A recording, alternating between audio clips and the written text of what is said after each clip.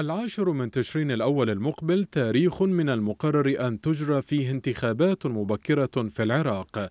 هذه الانتخابات كمثيلاتها تلك التي شهدت حالات تزوير واسعة، إذ ثمة تخوف كبير من مشاركة عناصر الأمن في التصويت الخاص.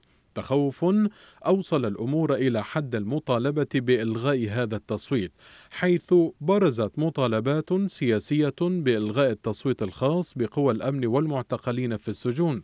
سعيا لإبعاد الاستغلال الحزبي وإنهاء حالة الجدل الذي يثار في كل موسم انتخابي بشأن تلك الأصوات فضلا عن تعزيز استقلالية المؤسسة العسكرية التي نخرتها آفة المحاصصة الطائفية تحديدا بعد عام 2003 مطالبات إلغاء مشاركة قوات الأمن الحكومية في التصويت كان بسبب التلاعب بالأصوات واستغلالها لصالح جهات حزبية بالتعاون المباشر مع الآمرين والضباط وما يعني ذلك من تصويت لقائد الفيصل أو بتوجيه منه حيث يحق لأكثر من مليون منتسب في قوى الأمن الداخلي والجيش والشرطة وميليشيا الحشد المشاركة في الاقتراع الذي ينظم قبل يومين من الانتخابات العامة إلى جانب المعتقلين في السجون.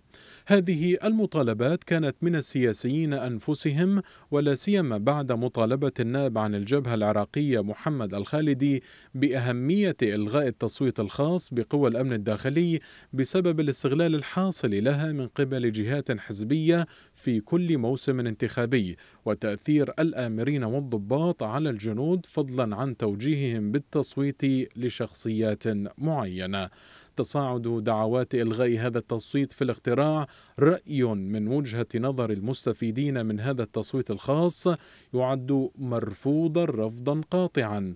فمع تأسيس ميليشيا الحشد تصاعد الاهتمام بالتصويت الخاص كأحدى الأدوات الموصلة إلى قبة البرلمان بالاعتماد على أصوات المنتسبين حيث تمتلك معظم الأحزاب ميليشيات مسلحة تمثل الخزان الانتخابي الأبرز لهم.